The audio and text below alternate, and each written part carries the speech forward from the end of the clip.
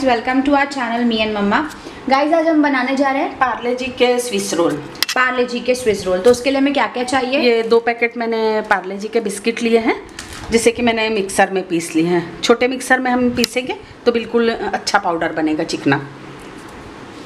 ये मैंने लिया है. ये दो पैकेट का है. ये इसमें मैं लूँगी हमें डालना है क्योंकि मीठा रहता है बिस्किट तो हमें फोर टेबल स्पून हमें शुगर डालना है, पिसी हुई।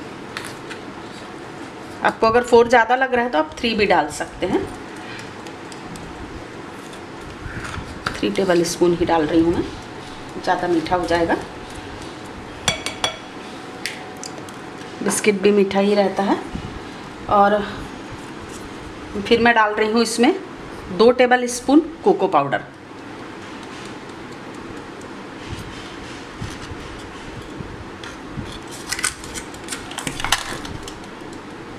थोड़ा मिक्स कर लेती हूँ फिर बाकी चीज़ें डालती हूँ।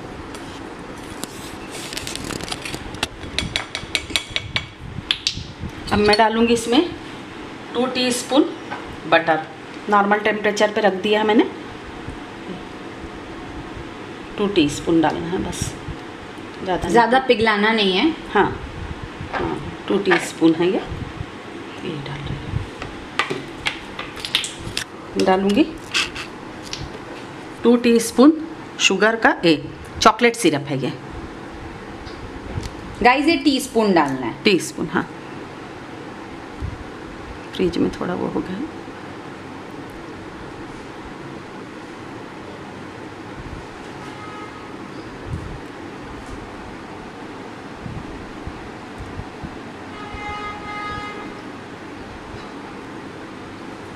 थोड़ा ज़्यादा गिर गया। वापस डाल दे दी।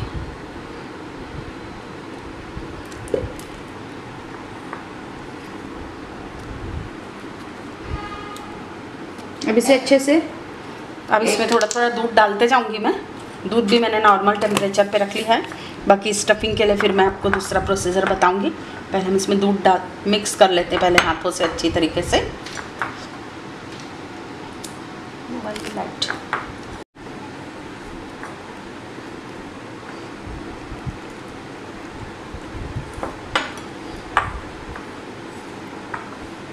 इसका पतला सा वो करना है? नहीं नहीं जैसा रोटी का करते हैं ना हम आटा जैसा। सॉफ्ट आटा जैसा। रोटी का जैसा आटा हमारा थोड़ा सॉफ्ट ओके आटा गूंथना है। वैसे ही करना है। दूध भी मेरा नॉर्मल है बाहर निकाल के रख दिया था फ्रिज से। और सॉफ्ट गाइस में इसको डो अपने को तैयार करके। तैयार करना है। और इसे हम फिर पाँच मिनट रखेंगे जब तक फिर हम स्टफिंग तैयार करेंगे इसकी। सो so गाइस देखिए हमने डो रेडी कर लिया है। बिल्कुल हार्ड नहीं है हल्का सा सॉफ्ट ही है ताकि हम उसको बेल पाएँ। अब हम मिक्सचर तैयार करेंगे। एक बोल में हम लेंगे नारियल का चूरा।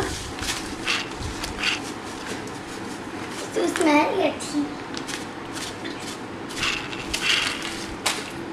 ये टू टेबल स्पून टू और ये थ्री थ्री टेबल स्पून ये लिया मैंने। वन टी स्पून डालूँगी बटर ये नहीं है बटर हमें मुझे लोग का जॉबो मिक्स सो नारियल के चूरे पे हमने कितना? तीन टेबल स्पून नारियल का चूरा लिया है मैंने। वन टीस्पून बटर डाला है और दो टीस्पून में इसमें मैं शुगर डालूँगी। ये हम फीलिंग तैयार कर रहे हैं, शुगर। और थोड़ा डालूँगी दूध। और इसका भी हम गोला तैयार कर लेंगे। तो देखिए गाइस ये हमारा डो बन के रेडी है। रेडी है। सॉफ्ट हो गया इतना सॉफ्ट होना चाहिए। ये देखिए। और थोड़ा मैंने इसको अच्छे जैसे हम रोटी के आटे को ऐसे करके सॉफ्ट सॉफ्ट कर लेते हैं। ऐसा मैंने कर लिया इसे। पाँच मिनट का थोड़ा रेस्ट दिया था हमने इसको। हाँ।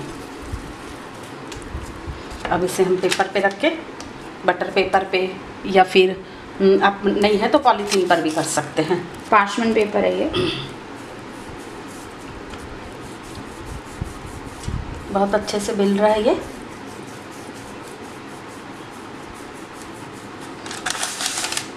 स्क्वायर शेप में करना है हमें से धीरे धीरे करके। ज़्यादा हाथ दबा के नहीं करना है।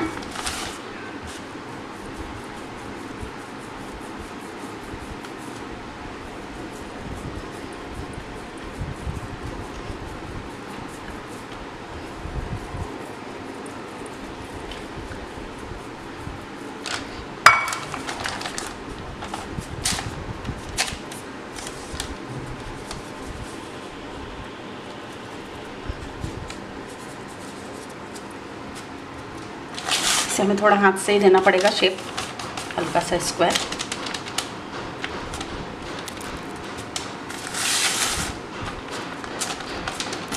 देखिए हमने इसको बेल लिया अच्छे से. शेप आप स्क्वायर ला सकते हैं तो ठीक है नहीं तो ओवल भी चलेगा. किनारा छोड़ते जाना हमें थोड़ा थोड़ा और फिर ये लगा लेना स्टफिंग इसके स्टफिंग इसके अंदर हमें लगा लेना बहुत जल्दी से बन जाती है और बहुत टेस्टी लगेगी ये.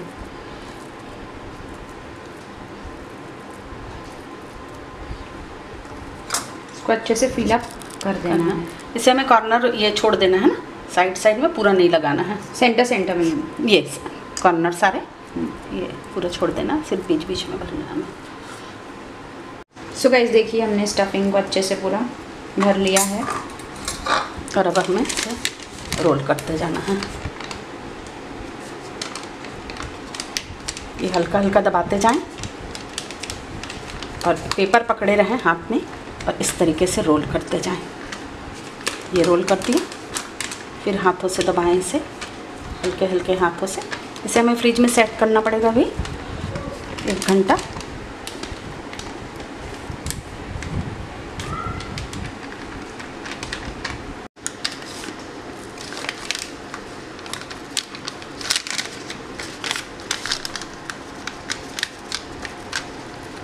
तो इसे पेपर में ही रोल करके हम फ्रिज में रख देंगे।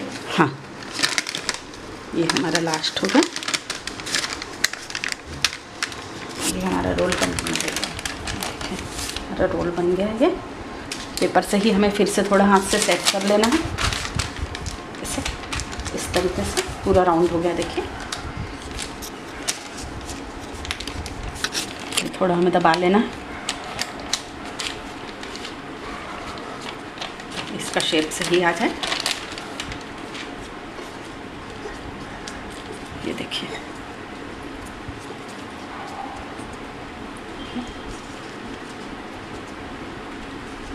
ठीक है।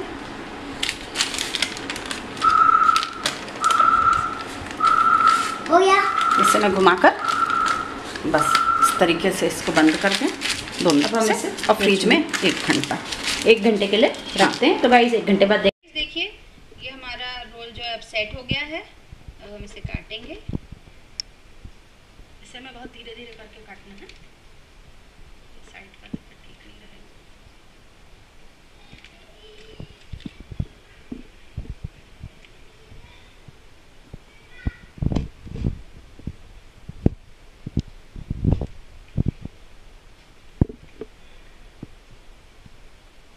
हल्का सा दबाते हुए काटना है। इसमें काटना भी मेन होता है। गाइस ये देखिए इस तरीके से ये निकल कर आ गया है बहुत बढ़िया तो देखिए गाइस ये हमारे स्विस रोल कितने बढ़िया दिख रहे हैं। ये देखिए और ये अभी हम और बस आप दबाते हैं। इसको काटते समय बिल्कुल भी ध्यान रखिएगा। नाइफ पतला होना चाहिए और हल्के हाथ से पहले ही आप ऐसा करके प्रेशर धीरे धीरे प्रेशर देंगे तो थोड़ा सा सॉफ्ट है ना ये रहता है। फिर धीरे से हाथ ऐसे दबाते हुए फिर आप इसे निकाल लें नहीं तो ये ये तो देखिए गाइस ये हमारे स्विस रोल जो है बढ़िया से रेडी हो चुके हैं। आप इस रेसिपी को ज़रूर ट्राई करें और हमें कमेंट सेक्शन में बताएँ कैसी लगी आपको ये recipe please share and subscribe our channel and thanks for watching